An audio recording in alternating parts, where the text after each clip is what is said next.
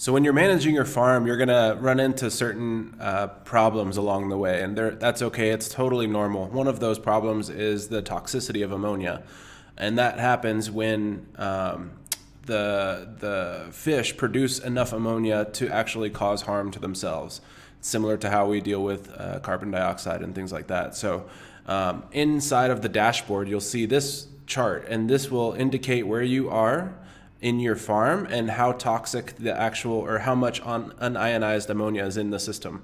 And so this is commonly used by um, people who are doing aquaculture, and that, that's to make sure that their their un-ionized ammonia doesn't get too high.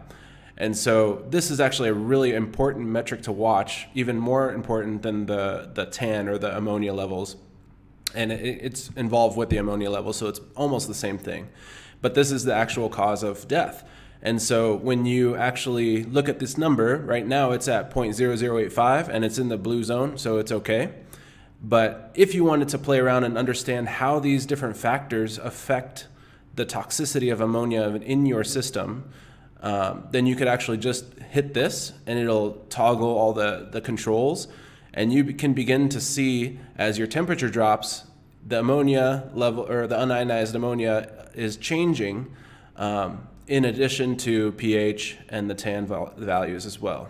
So you could see when it gets really high, it becomes extremely toxic, and that's when you may experience some fish death. And so this is actually a really important thing to watch, and you can see um, if you're dealing with more higher levels of pH, you may want to actually look up here, and you can see this is the toxicity level over pH and temperatures and things like that. So you could actually play around and learn how the water's changing and the, how the ammonia changes um, inside of these different parameters.